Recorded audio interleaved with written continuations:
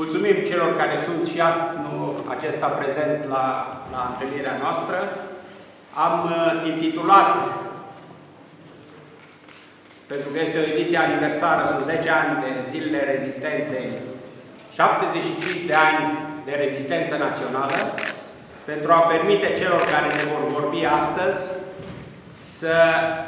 ne dea o sinteză, să ne dea o imagine mai generală a ceea ce a însemnat în istoria neamului românesc lupta de rezistență,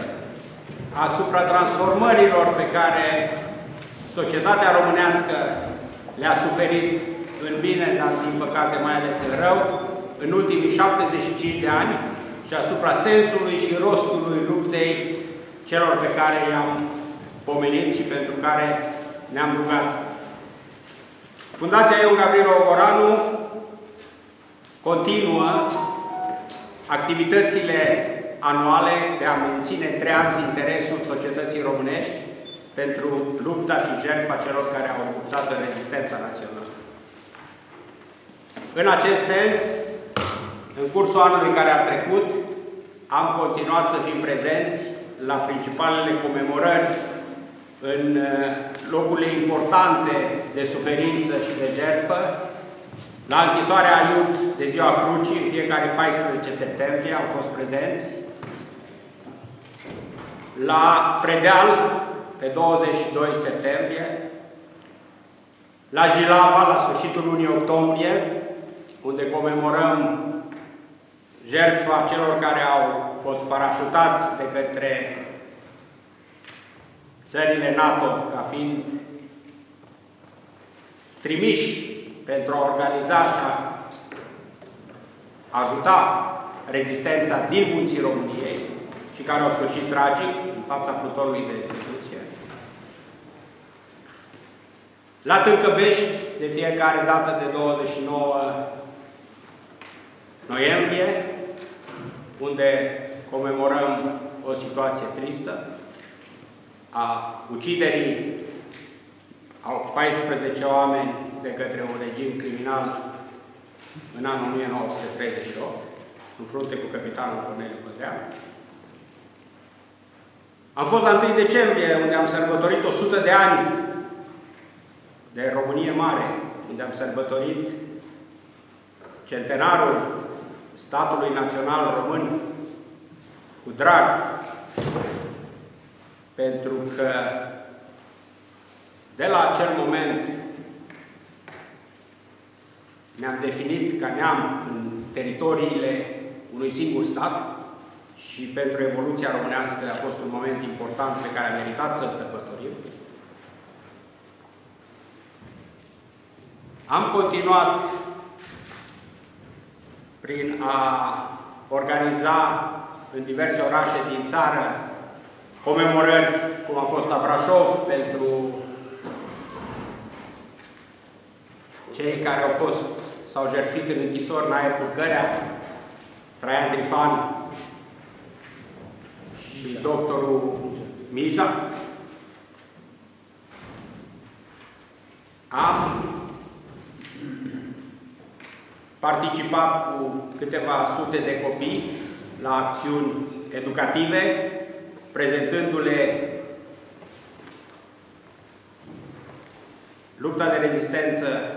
și suferințele celor închiși, mai ales la închisoarea Genova, prin grija deosebită a lui Florin Dobrescu. Astfel încât, ca, ca în fiecare an, prin ajutorul neprețuit pe care mulți care au dorit să se încadreze ca ogorani în fundația noastră și au sprijinit prin prezență și prin subvenție financiară activitatea fundației, am reușit să ne continuăm activitatea, am reușit să fim prezenți atât în social media, cum se spune, deci pe rețelele de socializare, cât și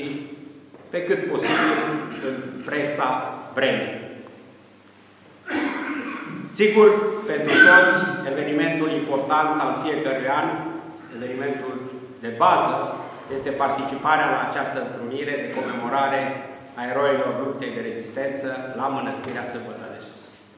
Și suntem fericiți să avem printre noi oaspeți de bază care ne onorează cu prezența lor și de la care sperăm să primim informații noi și interesante, o viziune despre ce înseamnă ce a fost, ce rost a avut toată acțiunea de rezistență națională, tot ce s-a opus regimului criminal comunist, tot ce a însemnat sacrificiul la sute, a mii, a zeci de mii de oameni în lagăre, în închisori, în munți, în păduri. Tot ce s-a scris, pentru că s-a scris mult, dar din păcate se citește puțin despre această luptă de rezistență.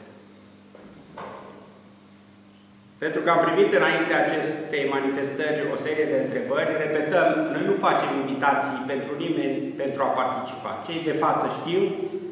ceilalți pot afla din ceea ce noi prezentăm că facem. Nu invităm pe nimeni, dar suntem bucuroși de fiecare dintre dumneavoastră care participă, care ne ajută, care se roagă pentru cei care au luptat, care se gândește și care consideră și reconsideră trecutul de luptă și jertfă acestor oameni. Mulțumim tuturor care ne sprijină cu prezența, care ne sprijină cu materiale, care ne sprijină prin ce scriu, prin ce gândesc, prin ce vorbesc.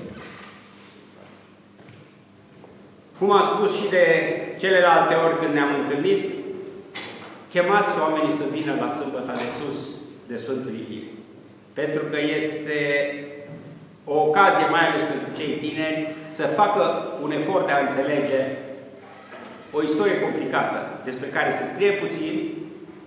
despre care autoritățile recunosc foarte puțin, despre reparațiile care ar fi trebuit acordate au fost foarte puține și continuă să fie puține pentru, pentru cei care au suferit. Și e important ca noile generații să nu piardă contactul cu acele realități pe care generația mea le-a cunoscut nemijlocit prin oameni ca eu, Gavrilă, ca domnul profesor Ciuceanu aici de față, ca alți luptători din rezistență, luptători reali, luptători care au ridicat arma împotriva comunismului, care au fost zdrobiți de comunism, dar care au putut depune mărturie și care au lăsat rânduri minunate, care au lăsat mărturii minunate, care au fost prezenți câteva zeci de ani în societatea românească și au, care sunt în ce, în ce mai puțin, chiar foarte puțin în ziua de azi. Să profităm de faptul că mai există și pentru acest lucru îl rog pe domnul profesor Radu Ciuceanu, care este un distins academician și uh, unul, una din personalitățile cele mai importante care au făcut ca lucrurile să nu fie uitate. Fiind fondator al Institutului pentru Studiul Totalitarismului și director sau președinte? Director sunteți sau președinte la Institut? Președintele Institutului pentru Studiul Totalitarismului. Se spune legea acum, da. Domnul profesor Radu Pigean.